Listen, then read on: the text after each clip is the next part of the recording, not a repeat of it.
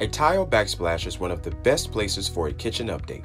It creates an instant focal point and adds timeless beauty in addition to functionality in your home. The following steps will take you through the correct installation of a new tile backsplash. Here's what you'll need.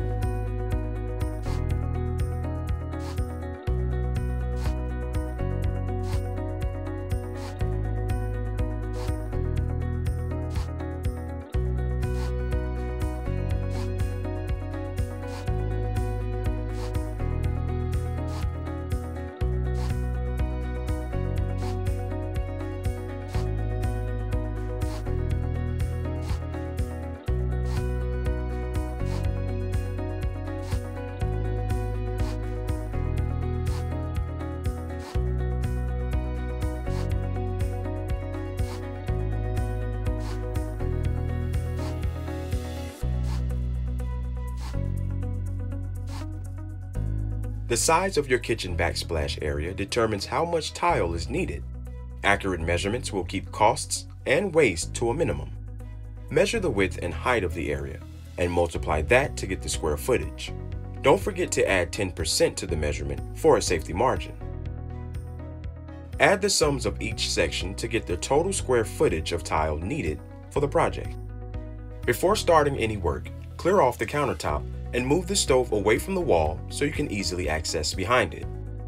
Cover the countertop and the underside of the cabinets to protect those surfaces while working.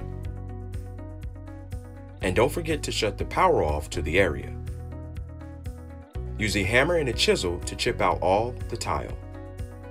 For the most durable tiling results, and to protect your surface from moisture, be sure to remove your drywall. Push the appropriately sized backer board into place then make sure the thickness is the same as the kitchen drywall for a smooth transition. Attach each panel to the studs with 1 and 1 4 inch backerboard screws. Leave a 1 8 inch gap between each of the panels and seal the gaps with silicone tile caulk. Affix fiberglass mesh tape to all seams and corners. Apply mortar over the tape. Find the center of the backsplash area and mark it with the vertical line. Starting at the center point, dry lay the tile. Work your way outward. A straight edge or level helps keep the tile even. And shift the row as needed to make sure the tile's pattern is laid out to ensure small tiles are not cut on the edges. Some tiles may need to be cut to fit around outlets or switches and to properly fill the backsplash area. A tile cutter can be used for porcelain or ceramic tile. Powder thin set will need to be mixed with water. The packaging will list the specific amounts needed, so grab a bucket and fill with the appropriate amount of water. Gradually add the powder, mixing it thoroughly. Let the mixture stand for 5 to 10 minutes, then mix it again without adding more water. Mix until it is the consistency of peanut butter. You'll have a limited amount of time to use it before it begins to set. Working in 2 foot sections, hold the side of the trowel at a 45 degree angle and spread a thin layer of mortar to the wall. Then using the notched edge, comb even ridges in one direction of the mortar. Place plastic tile spacers on the ledger board and countertop. This will create a gap so the tiles won't sit directly on the countertop. Then align the first tile with your center line directly over the spacers. Gently wiggle the tile into the thin set to collapse the ridges and help the tile settle into place. Use a grout float to flatten the tile if necessary. Continue laying in the remaining tiles using spacers between the rows and columns to hold them in position.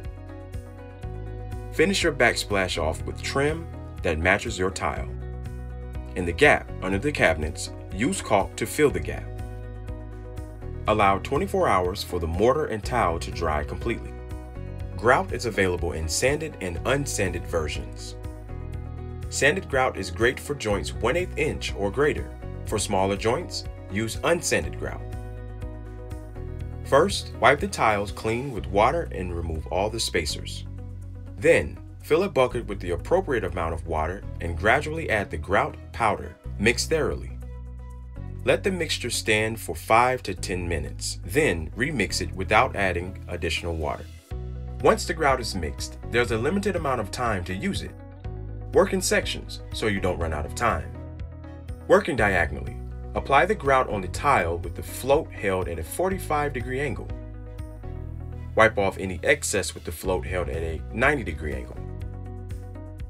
Using a damp sponge, wipe the grout from the face of the tiles in a circular motion and shape the grout joints fully. Rinse the sponge in clean water frequently. Follow the manufacturer's instructions for the right dry time. Use a haze remover and a dampened cheesecloth or sponge to remove the remaining haze from the tiles. Let the grout dry for at least 72 hours before applying a sealer. Paint on sealer and let it dry. Then add a small amount of latex caulk to the base of your backsplash where it rests against your countertop. Replace your appliances and decor. Restore the power to your electrical outlets. And the final step is to enjoy your newly updated and stylish kitchen. Good luck, and thanks for shopping at the Home Depot.